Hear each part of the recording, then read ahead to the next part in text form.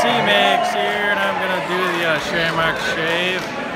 Second time doing this different event, so